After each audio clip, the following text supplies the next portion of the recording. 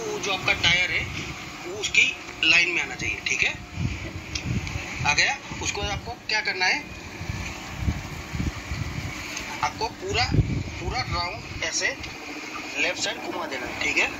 उसके बाद आपको फिर से अर्धा क्लच छोड़ के एक्सिट देना हल्का सा। ये जो मिरर है, उसमें आपको पूरा आपका वो जो लाइट लास्ट का कोना है पार्किंग का, वो दिख जाना चाहिए।